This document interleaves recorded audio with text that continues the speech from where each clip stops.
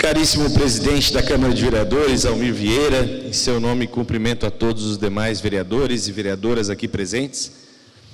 Quero também cumprimentar a todos os servidores que estão aqui do lado esquerdo, que vieram até hoje aqui também para o atendimento dessa sessão.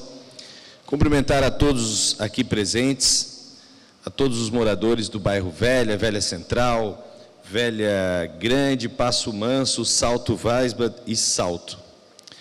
Quero parabenizar os homenageados que receberam as moções aqui hoje. E penso que o vereador Almir Vieira já relatou aqui tudo que a Câmara de Vereadores vem fazendo desde este, de, dia, dessa tragédia do dia 5 de abril. Como ele mesmo mencionou, outorgando ao poder público já de imediato, no dia seguinte, autorizando a contratação de empresas de segurança. Ideia também deste vereador, quero parabenizar o presidente da Câmara de Vereadores, Almir, pela ideia de repassar já de imediato 1 milhão 340 mil reais, com apoio de todos os demais vereadores, para que o Executivo, então, pudesse realizar a disposição né, e a contratação de empresas de segurança.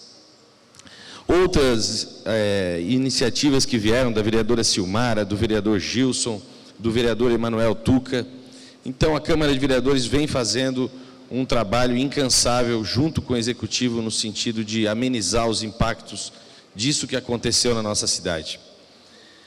Quero aqui também mencionar que a minha assessoria teve ontem, é, numa reunião do CONSEG, CONSEG 134, e quero aqui parabenizar o trabalho que o senhor Osni fez durante esses anos à frente do CONSEG e dizer que o senhor Osni é uma pessoa que representa esse trabalho né, de comunitário em favor da segurança pública ah, e além de outras, né, outros eixos que o Consegue também trabalha.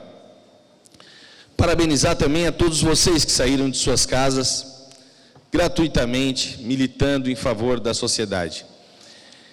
Em nome de todos vocês, eu quero dar um agradecimento especial e parabenizar o meu eterno vice-prefeito Rufino Saibit.